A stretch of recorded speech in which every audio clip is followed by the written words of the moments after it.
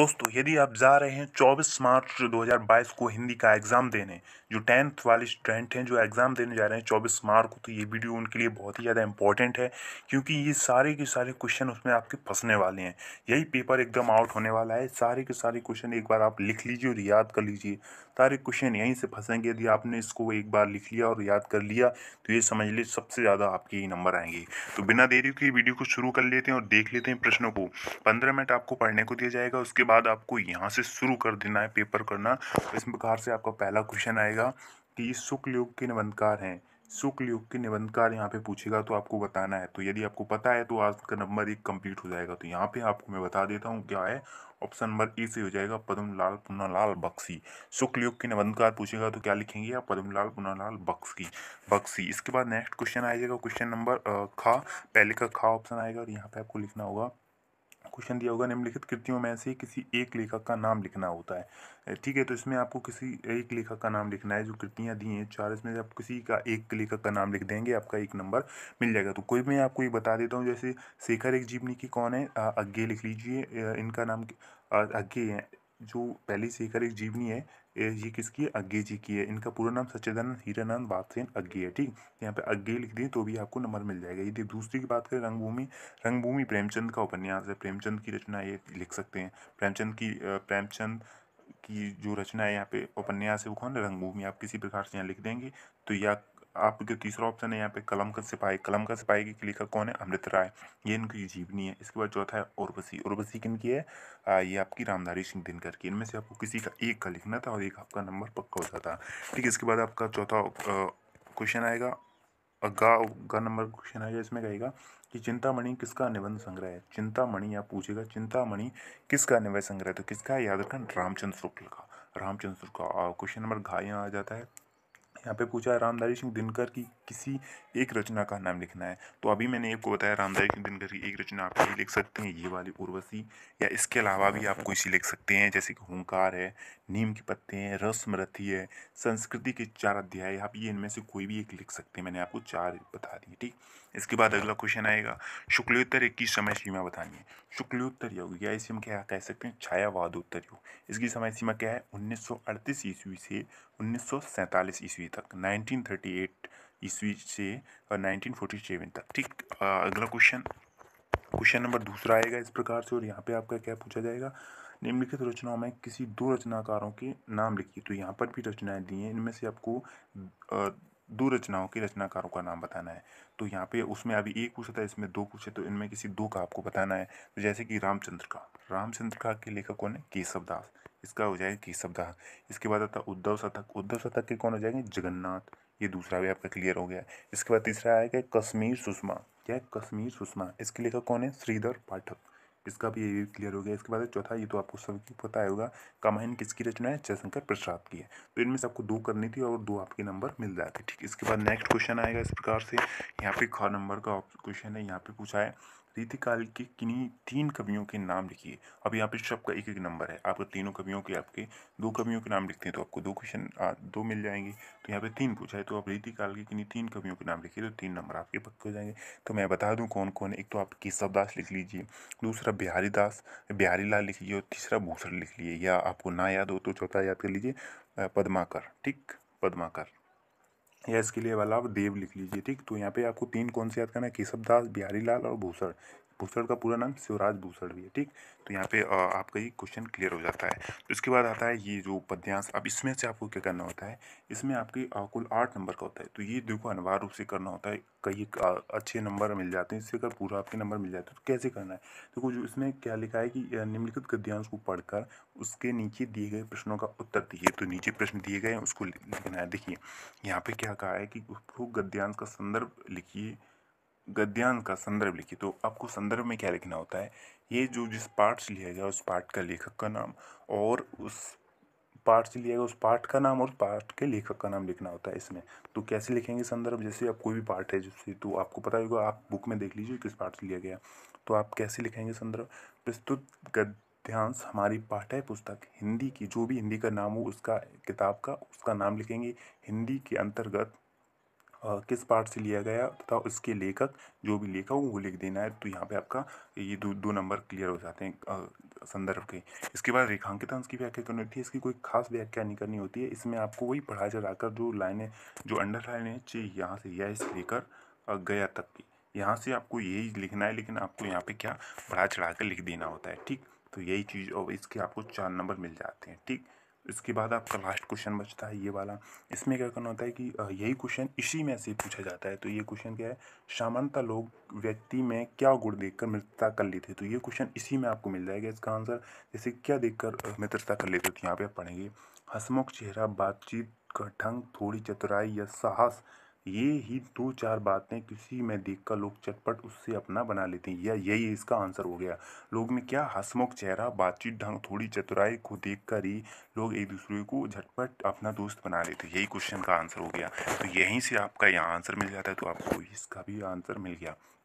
तो ये आठ नंबर आपके बहुत ही ज़्यादा आसान तरीके से आपके क्लियर हो जाते हैं तो आपको आठ नंबर यहाँ से मिल जाएँगे। तो इसी प्रकार से इनमें से आपको एक करना था, अथवा करके दिया है तो आपको ये वाला करना था, ये वाला, चाहे ऊपर वाला तो मैंने ऊपर वाला आपको बता दिया है। अब नीचे वाला आप करना चाहें तो एक करेंगे, कोई भी कर सकते देखिए, ऊपर मैंने बता दिया, अब अगला क्वेश्चन देखें। क्वेश्चन नंबर चौथा, यहाँ पूछेगा, अब यहाँ पर भी क्या क्या है ये पद्यांश आ गया।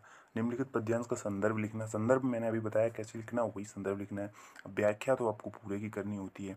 व्याख्या में क्या आप कोई ज़्यादा चीज़ नहीं थी, यहाँ पे व्याख्या के लिए छः नंबर किया तो कैसे करना है? देखिए, इसी से रिलेटेड कर दें, चरण कमल बंधु हरे राय। चरणों की, कमल रूपी चरणों की वंदना करते हुए सूरदास जी तो सूरदास है तो सूरदास जी कहते हैं, जाकी कृपा पंग गिर लंगे अगर प्रभु की कृपा जिससे लंगड़े पे हो जाती है तो वो चलने लगता है।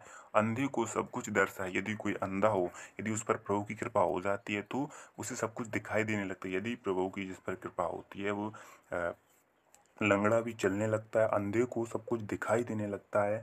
बहरे सुने गूंगपन बोले और बहरा पुनः सुनने लगता है और गूँगा भी बोलने लगता है। रंग चले सिर छत्रदाई और जो गरीब निर्धन होता है वो एक राजा बन जाता है, जिस पर भी प्रभु की कृपा आती है।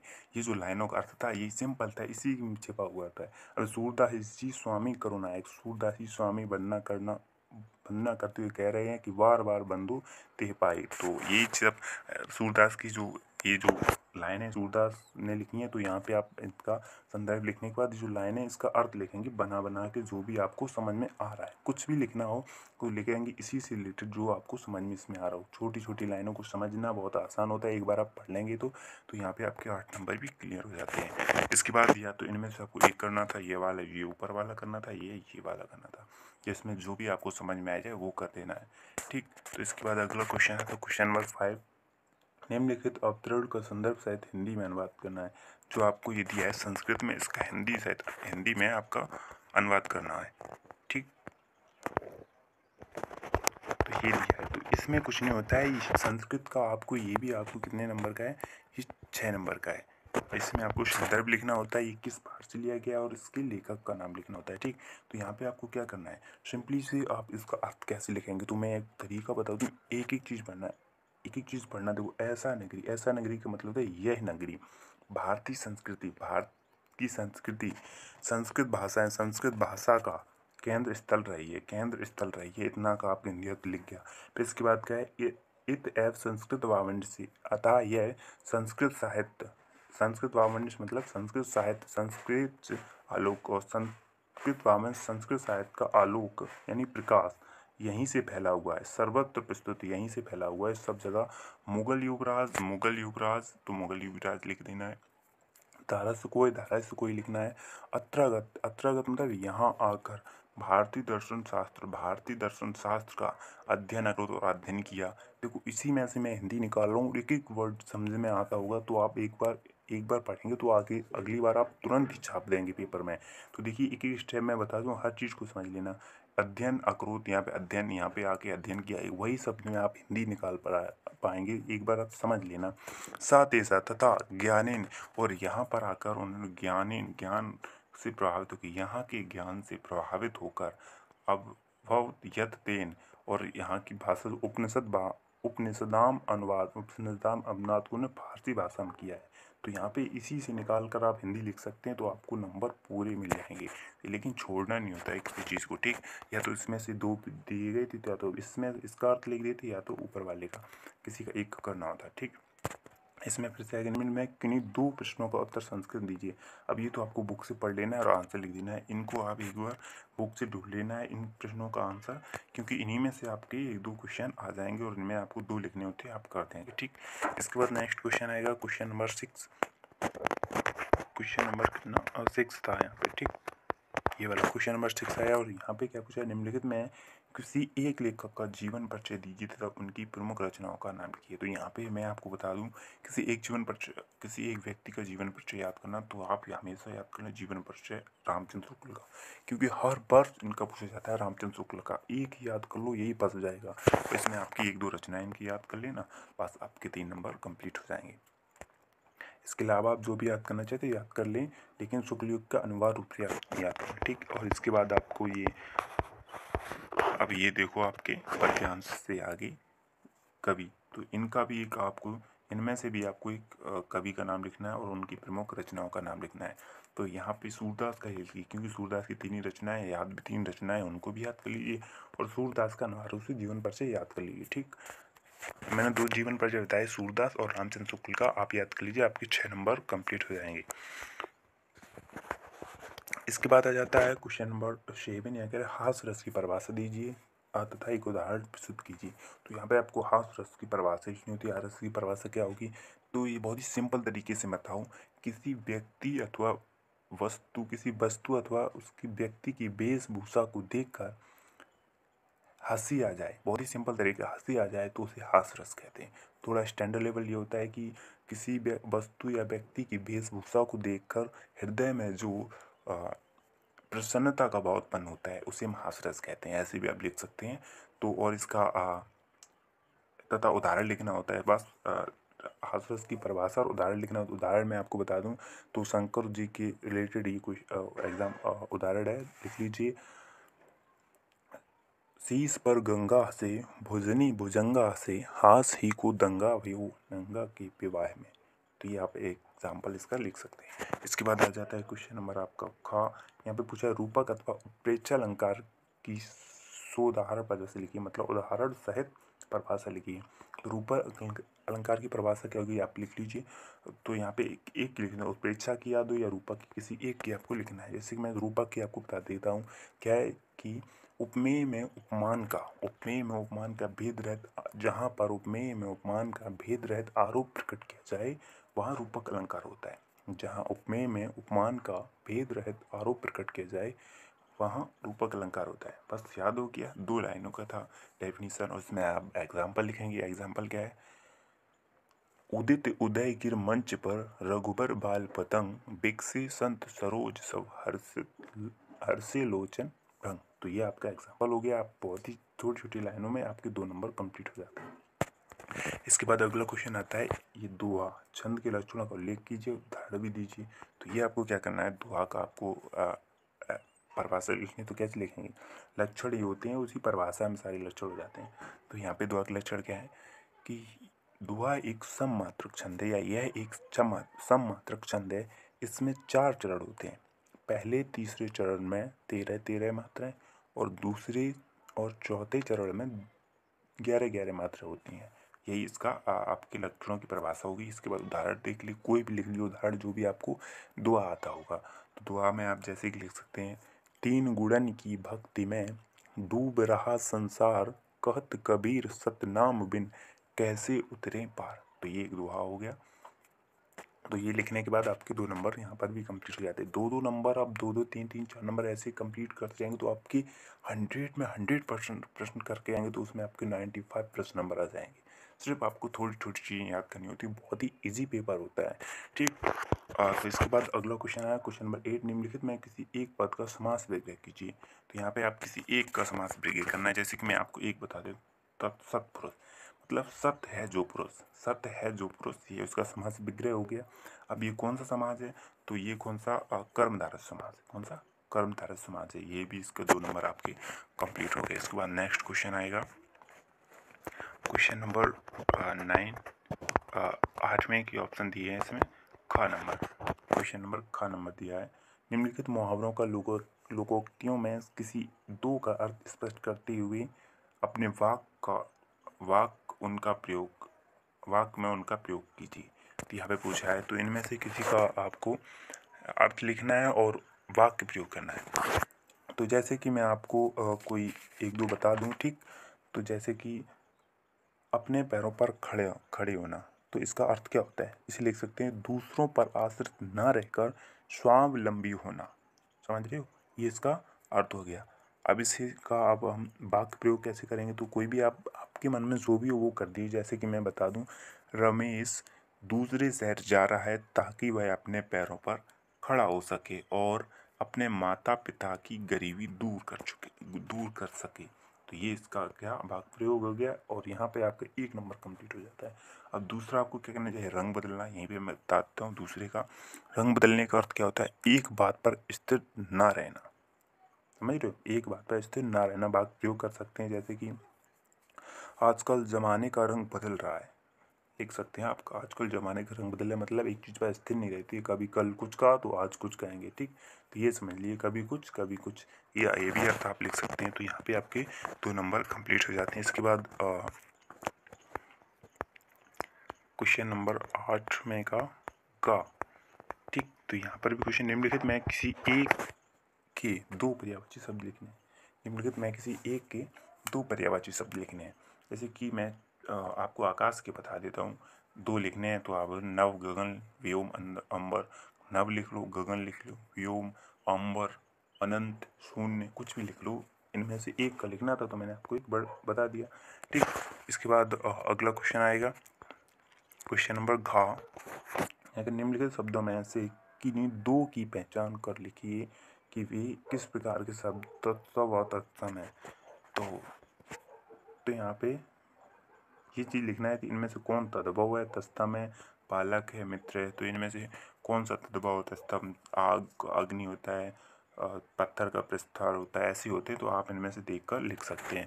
तो यहाँ पर भी आपके दो नंबर क्लियर हो जाते हैं, ठीक? इसके बाद अगला क्वेश्चन आएगा क्वेश्चन नंबर डा डा ठीक तो यहाँ पे क्या हो जाएगा? निम्नलिखित में शब्दों में से किन्हीं दो के विपरीत आधक शब्द लिखिए। तो इनमें से अब विपरीत आतक शब्द लिखने होते हैं तो इनमें से चार में आपके दो शब्द लिखने हैं। तो मैं दो बता देता हूँ, जैसे प्रगति का क्या हो जाएगा? प्रगति का अप्रगति और गुड़ का अवगुड़ तो दोनों हो गई। यहाँ पे मैंने दो बता दी, यहाँ पर भी आपके दो नंबर क्लियर हो जाते हैं। इसके बाद क्वेश्चन आएगा चा, और यहाँ पे क्या निम्नलिखित वाक्यों में से किन्हीं दो के लिए एक एक शब्द लिखिए। तो यहाँ पे अनेक आरती शब्द हैं, इनमें से आपको कोई एक शब्द इनके लिखना है, जिन जिसे कोई भय ना हो, उसे क्या कहते हैं? या ऊपर क्यों जाने वाला, उसे क्या कहते हैं? जैसे कि जिसे कोई भय ना हो, उसे क्या कहते हैं? निर्भय कहते हैं। ठीक, इसके अलावा और देख लेते हैं, जैसे कि हाँ ये चौथा, तीसरा देखते झूठ बोलने वाले क्या कहते हैं? झूठ बोलने को अनिरता कहते हैं। अनिरता, या ऐसे हम ये भी कह सकते हैं, असत्या। असत्य हालाँकि सब शुद्ध शब्द है अनृत्य अनृता ठीक। ऐसे लिखेंगे आ नृता ठीक। इसके बाद अगला क्वेश्चन आएगा क्वेश्चन नंबर नाइन यहाँ कहेगा, निम्नलिखित में किसी एक शब्द का संधि विच्छेद और संधि का नाम लिखें। यहाँ पे आपको संधि विच्छेद करना है, संधि का नाम लिखना होता है, जैसे यद्यपि का क्या हो जाएगा, यदि धन अपी, सदैव का सदा धन ऐप तो ये इनमें से एक करना तो आप कर लेंगे। ठीक, इसके बाद अगला क्वेश्चन आएगा क्वेश्चन नंबर खा इनमें से भी आप सारे बुक में आपकी लिखोगे, उनमें आप सब देख कर लिख सकते हैं। फल का षष्ठी विभक्ति का बहुवचन लिखना है। और इसका षष्ठी विभक्ति बहुवचन फलित हो जाएगा, ठीक? इस प्रकार से आप बुक में देख लेंगे, आपकी सारे के सारे यहाँ पे लिखे होंगे। इसी प्रकार से इसका भी, या तत् का, या युष्मद का चतुर्थी व्यक्ति एक वचन लिख लेंगे। निम्नलिखित में से किसी एक धातु का लट धातु, लकार, पुरुष तथा वचन का उल्लेख करेंगे। इनमें से ये कौन सा पुरुष धातु है तो आप वहाँ से लिख सकते हैं। या लोट, लकार का प्रथम पुरुष या मध्यम पुरुष ये कैसा है तो आप वहाँ पे लिख लेंगे देख कर ठीक? इसके बाद क्वेश्चन नंबर आएगा दसवा, और यहाँ पे आपको लिखना होगा था निबंध। अब निबंध में आपको क्या लिखना होता है तो वो आपको बताना चाहिए कौन सा लिखना है, जिसके बारे में आपको डिटेल से जानकारी हो। तो बहुत सारी दिए इनमें से आपको जिसके बारे में ज़्यादा जानकारी हो, लिख सकते हैं। जैसे कि सबसे सरल इसमें से मैं बताऊँ, विज्ञान के बारे में आप लिख सकते हैं। हमारा प्यारा भारत अगर आप कहते लिख सकते हैं। ठीक, अगर आपको अब्दुल कलाम के बारे में जीवन परिचय पूरी याद है और उनकी पूरी जीवन कहानी याद है तो आप इनके बारे में लिख सकते हैं। जिसके बारे में आप समाचार पत्र की बात लिख सकते हैं, सड़क सुरक्षा के बारे में लिख सकते हैं तो इसके बारे में आप लिख सकते हैं। इनमें सबसे पहले क्या आपको प्रस्तावना डालनी होती है और फिर हेडिंग बना के आपको कुछ लिखना होता है इनके बारे में। प्रस्तावना में उनका शुरुआती दौर बताना होता है और लास्ट में आपको हेडिंग डालनी होती है उपसंहार, जिसमें आपको अंतिम कुछ बातें लिखनी होती हैं। ठीक तो अगर वीडियो पसंद आई तो वीडियो को लाइक कर दीजिए और चैनल को सब्सक्राइब कर लीजिए, ठीक? तो फिर मिलते हैं नेक्स्ट वीडियो में, तब तक के लिए नमस्कार।